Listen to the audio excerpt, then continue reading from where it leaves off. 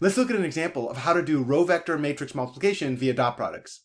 In this case, we're going to find the vector B equal to X transpose times A, where A is the 4 by 3 matrix with integer coefficients seen on screen, and then X is the 4 by 1 column vector given here. For those of you that have watched my other videos on this, this is the same matrix that we used in our previous examples. As I coach you on how to think about using examples in math classes, I want to refer you to a blog post that I wrote called A Model for Deep Learning.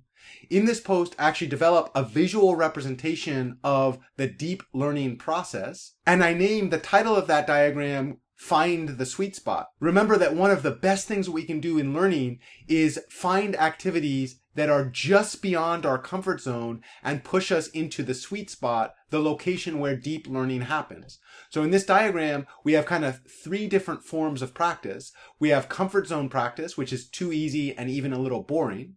We have sweet spot practice. This is where deep learning happens. It's hard enough to be interesting, but easy enough to be doable.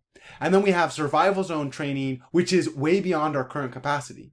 One of the tricks of using examples in math class is to find ways to turn each example into sweet spot training. This is one of the reasons that I use videos because you can pause the video and test yourself while you're doing the example. With that in mind, I hope you'll join me in forming the belief that the value of this example is not calculating the individual outputs. You could do that on a computer. The value of this example is actually to find your sweet spot with the individual definition. In other words, to use this as a practice to reinforce the definition in your brain. So with that, one of the best ways to get in your sweet spot is to do active recall, to test your brain to try to remember what the definition is. Let's do that. Using our definition of row vector matrix multiplication via dot products, we know that, pause the video here, what is the kth entry of the output vector that results from multiplying x transpose times a. Pause it and test yourself. I'm going to do that here. I remember that the kth entry, the entry in row 1, column k, is going to be the dot product between the vector x and the kth column of a. Well, I know x is going to be an m by 1, a is going to be an m by n, so the kth column is going to be an m by 1. So now I can actually visualize this without looking at a definition. Let me do this. It's going to be x1 times a1k plus x2 times a2k plus x3 times a3k, where I'm moving down the individual rows of the kth column. And then I go all the way down to the mth row. So the last summand in this sum is going to be xm times amk.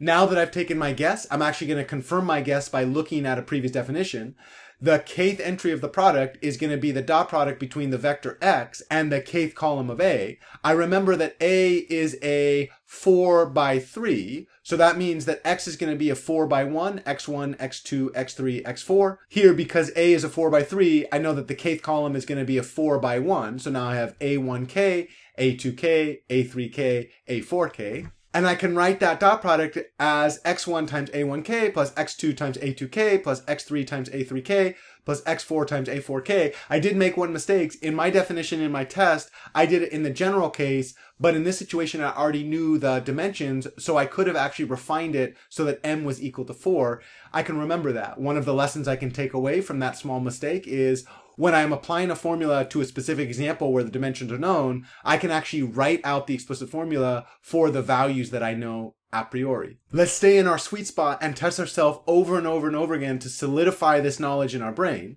Now that we have the general approach, let's go ahead and find all individual entries using this definition. We knew that A was 4 by 3, X was 1 by 4, which means the output vector B that we're looking by is a 1 by 3. So if we use this, we're going to do three separate entries. We'll start with k equal to 1, so the first entry of B.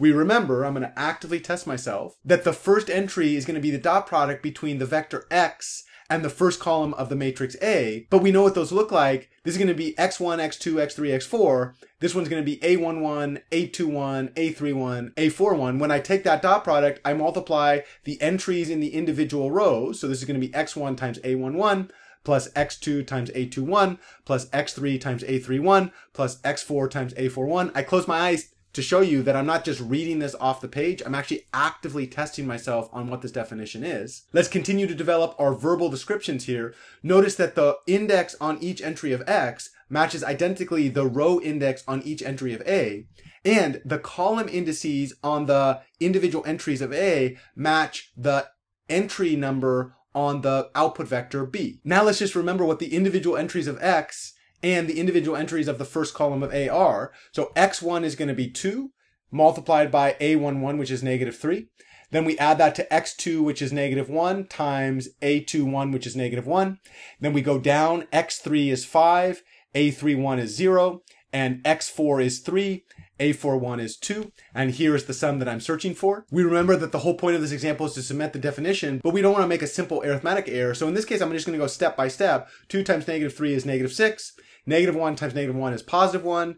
5 times 0 is 0. 3 times 2 is 6. We know that negative 6 plus 1 is negative 5. We know that negative 5 plus 0 is negative 5. And negative 5 plus 6 is positive 1. Here's our guess of what we think the first entry of B should be. Let's keep going with the second entry of B. Remember that the point of the example is not the simple arithmetic calculations. It's actually to create a robust neural network that encodes the definition.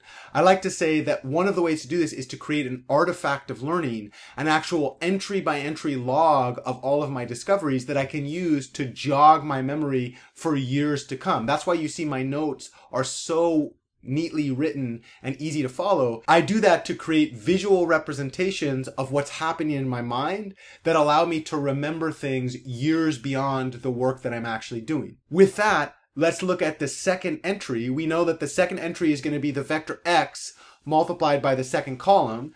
Before I actually write that down for myself, I'm going to test myself, stay in my sweet spot. So that's going to be x1 times a 1, 2, plus x2 times a22, plus x3 times a32, plus x4 times a42. Now I got to do the actual work of verifying my guess with the formal definition. The second entry is going to be x dot product with the second column. I know what each of those looks like because I have the dimensions and indeed my guess was correct here. So I'm feeling pretty good that I got this definition in my mind. Now we do the simple process of substituting the actual values from our example into the general form. So I know that x1 is going to be 2. The first entry of column 2 is going to be 4. Then I add that to negative 1 times 7. Then I add that to 5 times 1. Then I add that to 3 times negative 5. And I do each of those calculations individually.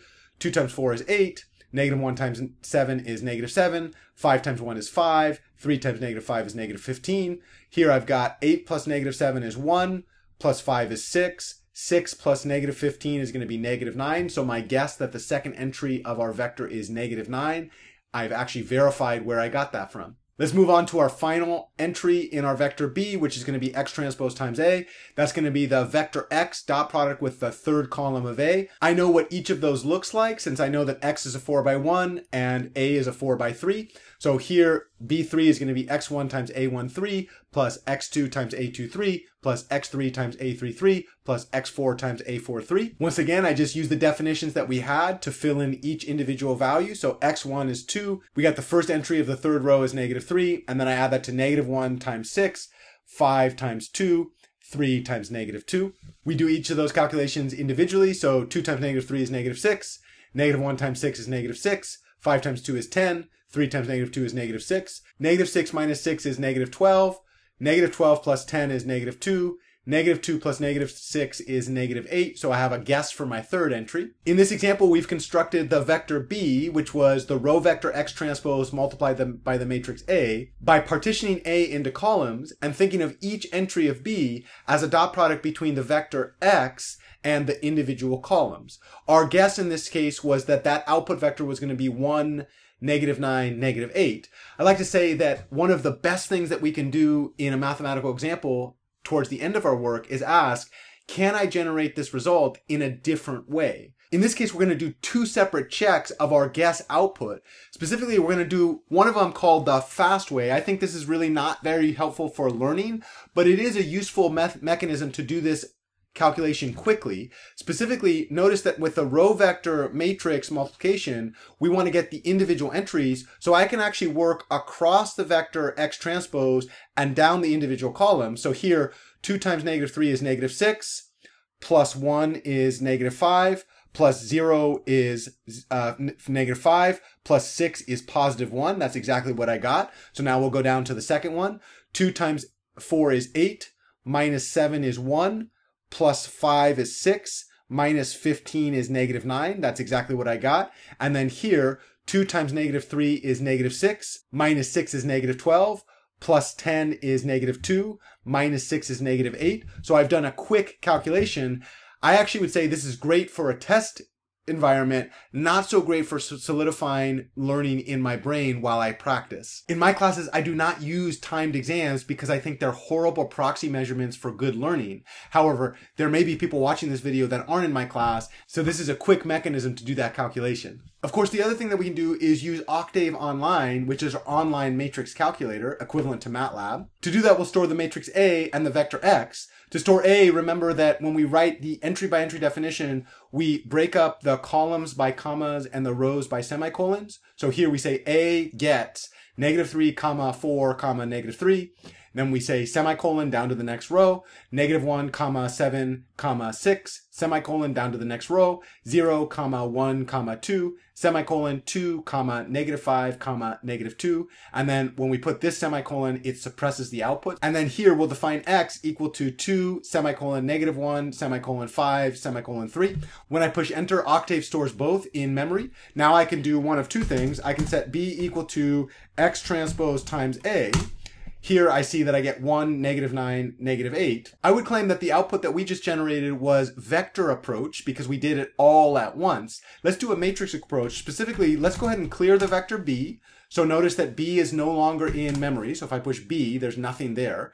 And then let's go ahead and clear the entire thing with CLC. Now let's look at b as a matrix with all zero entries, one row and three columns. So now that gives me a kind of a blank template.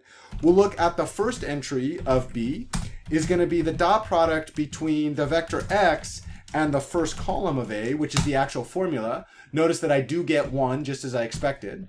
Now if I push the up arrow, it will give me the last command that I ran. So let's go over to the second entry of B, which is going to be a dot product between the vector X and the second column of A, and we push enter. Now that overrides the zero with the output negative nine, which is what I expected.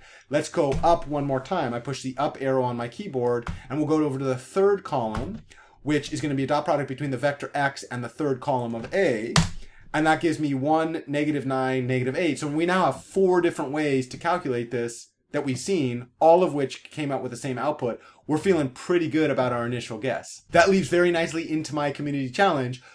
For those watching at home, could you come up with a for loop implementation of this operation that runs through the individual entries of the output using a for loop to do what we've just done here. In my MATLAB class, we're going to go through a video that does exactly that. Thank you so much for your attention. With that, we'll end this video and we'll move on to algebraic properties of the row vector matrix multiplication, which we'll see in the next video. I'll see you there.